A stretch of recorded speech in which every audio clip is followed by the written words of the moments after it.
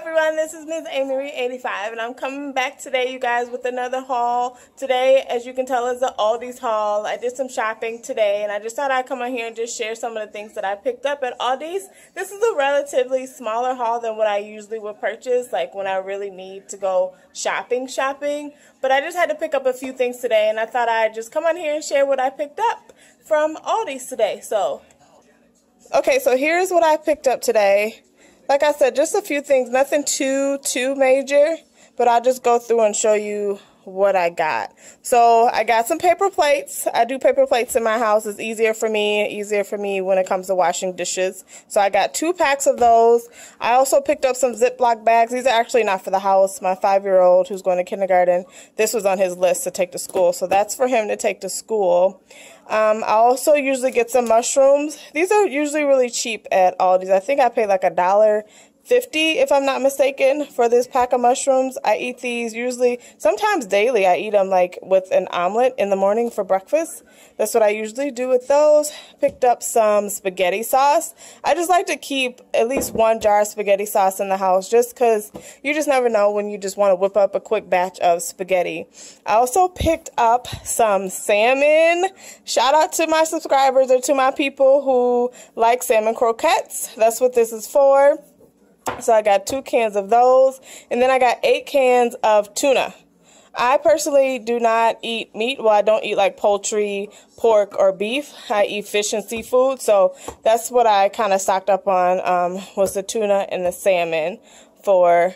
Um, staying on this side, I also got some chocolate almonds. I love to snack on these. These are my favorite especially you know when it's you know that chocolate time of the month. These are perfect perfect snacks personally for me that I like to just kind of snack on and not feel too terrible about what I'm snacking on. Okay, then I picked up some Gatorades, two packages of these, the smaller Gatorades of six each, so 12 total. Those are for my sons. It's football season, and I like to just keep some Gatorades on stock or in stock for them to take with them as need be.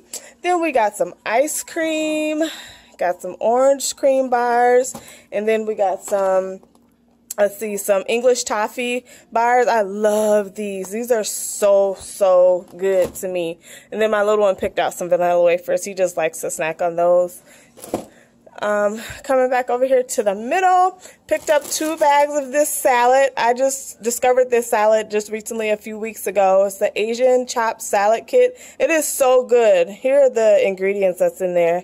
I'm not going to read it all off to you. You can just read it yourself. But this is a really, really good salad. Very, very good. It comes with, let's see, the sauce and everything in there that you need. And you can just add it together as you prefer or, or, as you desire. But it's a really, really good salad if you're looking for a new salad if you haven't tried that yet. Um, also got some shredded cheese. I try to keep some shredded cheese in the house as well. As you, I, I put that with all kind of stuff with my omelets and whatever else. And of course some sliced cheese just to keep in the house. And then some shrimp. These I like to keep in the house too, just for quick meals for myself. I can just whip up some shrimp or saute some shrimp and then make some like a vegetable or something to go along with it. Or put it on a salad as well, which is what I'm showing right now. The spring mix is what I usually prefer. I buy a couple bags of these um, a week or every two weeks, depending on how fast I go through them. I usually will whip up like a tuna salad, or I'll just like divide a can into these little containers that I use, and I'll take the salad to work and then add either the tuna salad or just a plain tuna in my salad, and that's what I eat for lunch. It's really good, and I think it's a healthy, healthy meal. I think last but not least, we have back here are some Kleenexes. This one also is for my five-year-old to take to school. It was on his list. However, this four-pack here is for the house, just to keep in the house.